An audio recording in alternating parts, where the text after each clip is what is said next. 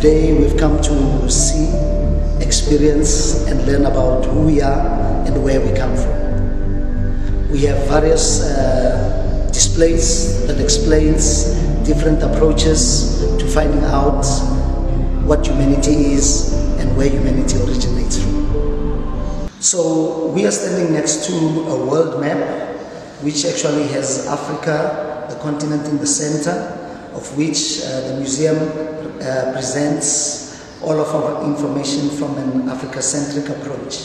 So it also gives us a symbolic movement of the human ancestor from the south to the north and start spreading all around the world. So most of the information that we talk about is more to do with how our human ancestor moved out from uh, what we now know as the cradle of humankind right up to the rest of the world. We are standing now on a display that gives us an idea of how the sciences, especially in archaeology and in different other fields, uh, have actually discovered very interesting artifacts that shows uh, how old is the oldest art, which was found here in southern Africa at Blombos. The chief uh, scientist that actually discovered this is Mr. Christopher Henshilwood, and he found a piece of ochre that had markings on them, which symbolizes the earliest of the art, and also, he also found on the same layer uh, stone tools that shows uh, blade blades, uh, arrowheads, uh, and spearheads. He also found uh, a number of shell beads that could have been used as ornaments at the time, whether worn by male or female. And all of these three shows how the early societies used to be that advanced as we now know um, how or when uh, markings or writing might have started from and how the earliest of technologies in making of tools might have started from. Now we are talking as far back as 75,000 years and in other cases a little earlier. The next uh, second oldest findings come from the continent of Asia. That means all of Asia. In this case, they actually give us a picture of all of Asia. So with the dating, you find that the gray area on this pillar shows us the earliest dates, which nothing was found on it. And from just the black area that is displayed on this pillar shows that uh, they also found the oldest uh, type of stone tool, which is a chopper core, just the same as the one found in Africa, but a little bit later, 2.25 million years. And we can see also in the different layers as how the industries also started changing. Now, on the third pillar, we see Europe. As I've mentioned, the gray area shows some of the oldest times, but in Europe, the oldest stone tool is found at 1.8 million, and we can see also gradually how the stone tool advances right up to the modern time. We then move to America, which is one of the youngest in the findings, or what they term recent in the findings. The Americas show, both North and South, show quite the most youngest activities, or rather earlier or most recent activities in the findings, starting from 40,000 years in the evidence of human activity in that continent.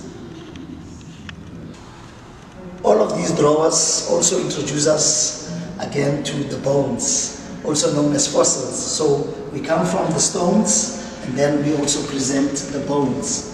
So this is the paleontological study. From the archaeological study, we then move to the paleontological study. They are arranged in order of dates, showing the oldest of the, find, uh, of the findings at the bottom. Most popularly, we have Lucy, uh, which was found in Ethiopia, and um, it was discovered by Donald Johanson in 1974, and it actually at the time was uh, a very big mystery and an intriguing mystery because they only found a few uh, uh, fragments of the, the skull. and they had to recreate it. And when it was found in Africa, it actually created a stir at the time because a lot of the findings were known to be found in Europe, especially in relation to the oldest human.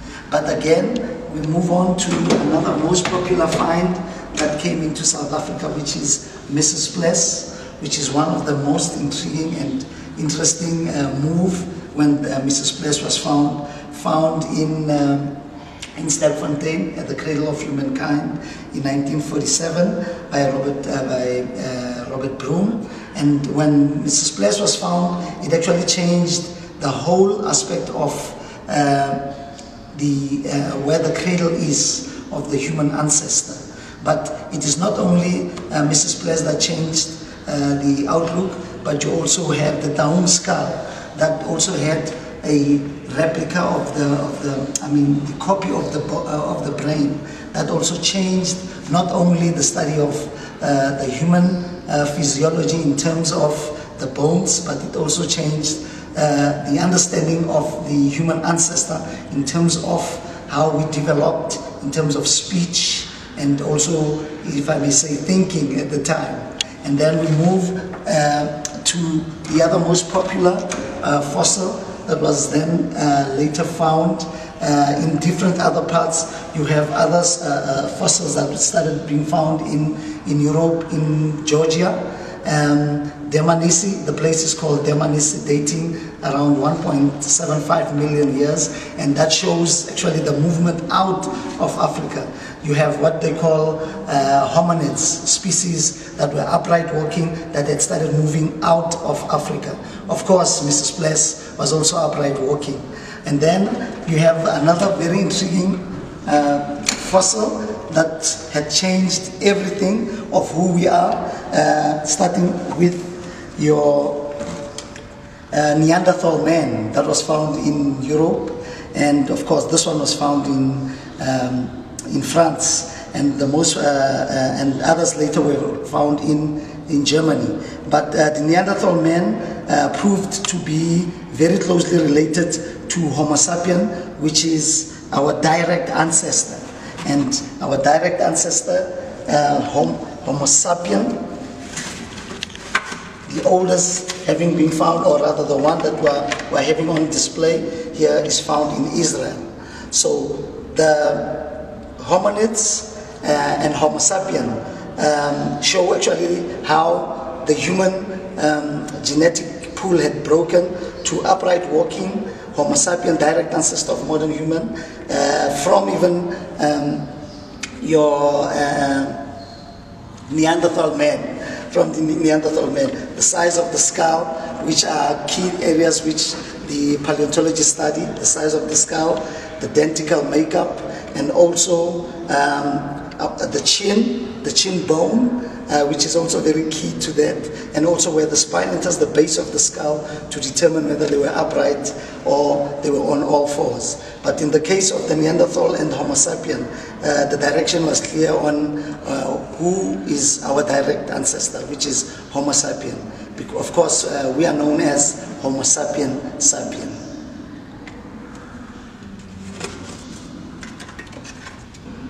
We are now standing at uh, one of the displays that gives us a little bit of insight on genetics. So from the stones to the bones and then to the genes. It was actually discovered that uh, the oldest mitochondrial DNA is discovered here. Uh, it, it is discovered here in southern Africa having the oldest of the mitochondrial DNA uh, maternal lineage. So uh, with that, they discovered that the oldest dates from around 150,000 and 200,000 years. And it actually changed uh, the perception of uh, whether the bones or the stones are the only evidence that we have. Because with the mitochondrial DNA, which represents the current technology, also gives us insight on who the oldest uh, or where the oldest human ancestor might have originated from. So on this display we also have a very inter uh, interesting and intriguing find of stone tool technology. Uh, these were found to be most recent from around 20,000 to 10,000 to the recent time now. in archaeology, uh, 10,000 years seems like a very small uh, age or, or, very recent age as they, they place it. But this also shows how advanced the stone technology used by the ancestors of the San people had actually really advanced, where you have uh, bladelets, where you have um, bladelets like those where you have scrapers, and where you have also some of the rocks on which some of the bladelets are removed from. And uh, what they might have used them for would have been surgical cutting of certain aspects of either the human body or an animal on which uh, the bladelets were used on. The San people of today are known to be uh, descendants of the earlier inhabitants of Southern Africa. All of the San people in Southern Africa are actually people that have been here much earlier than any other group that is known from the Zulus to the Sothos or any other group. But uh, they are known to have occupied areas such as Namibia, Angola, Botswana, and of course uh, what is South Africa today. And of course they, call, they don't call themselves San, uh, they call themselves in the names of the groups that they belong to. You have the Kam, you have the Jinqua, you have the Ku, uh, you have the Nama, uh, you have the Kwe, and you have many other groups among the San, which are the ones who are known to have left behind, I mean the ancestors of the San had left behind very intriguing uh, rock engravings that we will see as we go through and that have left us with a lot of knowledge in relation to the landscape and uh, who they are and how they used to live before, of which is what the museum represents as well. So as we walk through the corridor, we call this the San corridor, we are first introduced to the role of the women within the organization of the groups of the San. And digging sticks are some of the tools that they use for digging roots and uh, they are known also to collect ostrich egg shells which uh, they actually uh, collect water in and of course all of the eggshells are also later used when broken as um, um, material to make beads and other uh, ornaments along their dresses made out of skin. So not only is the role of the women gathering, but men are hunters. And men as hunters are known to use tools such as bow and arrow. And uh, very intriguingly is that their technology of bow and arrow was very sophisticated in terms of how the arrow was uh, designed. You have the uh, uh, poisonous point, you have your link shaft, and you have your flight shaft. And that's what was very intriguing with the findings from the archaeologists. So uh, before it was believed that the San were primitive, only to discover that their knowledge of the landscape, the knowledge of the animals they hunt, and the knowledge of the role of men uh, and the role of women is very clearly defined within their society. So we also know that the San were so advanced in the sense that they also buried their dead. And a lot of burials were discovered in the Cape, along the coastline, uh, from along the coast going to the Eastern Cape, where huge numbers of graves were found. And of course, this is one of the replicas of a grave of a child. And uh, with this grave, a lot of other aspects that shows um, advancement. They found plants in the grave. Um, they, they found um, uh, shells in the grave. They also found quite a number of other aspects, such as if it was a woman, they would find a, a, a bored stone. Um, and if it was a man, they would find a, an arrow point. But in this case, they found a lot of shells and they found that the bones represented those of a child. And uh, with that, it shows how advanced the San were in terms of respecting both life and respecting the dead. The other very popular figure that we know is uh, Saartjie Baartman. So Saartjie Baartman belonged to one of the San communities, the Griqua community in particular. And uh, Saartjie Baartman is known to have been taken in the early nine, um, 1820s to be uh, exhibited in Europe and uh, her name or rather her position uh, within the history of the San is very much uh, moving in the sense that uh, she was later not only exhibited, but when she passed away, her body was uh, uh, cut into different pieces for further exhibition after even when she had died. And uh, from England, she was earlier sold to France, where a very well-known paleontologist known as Georges Cuvier dissected the body into those parts, placed them into bottle jars, and displayed them for over 150 years. And in the early 70s, uh, the French government then decided that that display should actually rather be closed because it dehumanized not only uh, um, Saartjie Baartman as a human, but also it actually gives a very bad reputation to the French people. And therefore, in 2002, um, her body was then brought back to Southern Africa after obviously a lot of negotiations with the government, and she was then uh, buried properly in her hometown of Griqua, that is in the Western Cape. This is an eland.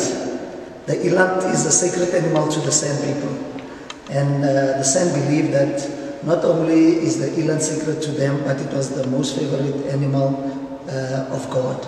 And God used to feed it honey and sometimes rub some of the honey on the fur. That's why it looks the golden brown.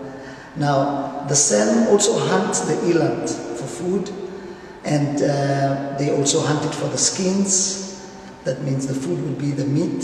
They hunt it for the skins. They hunt it for the horns.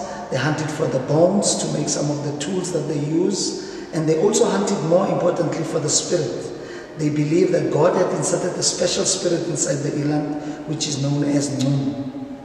And Num or Tay is actually the spirit that the San medicine man harness when they actually uh, um, kill the eland. And as it dies, it dies in the posture in which the animal is placed on this display.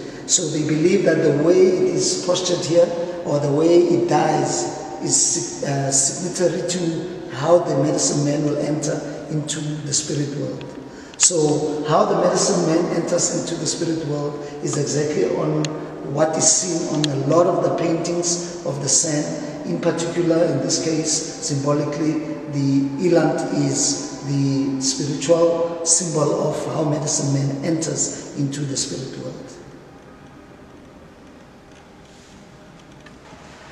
So the next display gives us a picture of how an eland is dying and showing also how medicine men are also showing uh, how they enter into the spirit world. Now, in a lot of these displays, especially this one, which was done by uh, Stephen Townley Bassett, gives us a very good idea on how uh, medicine men travel or enter into the spirit world.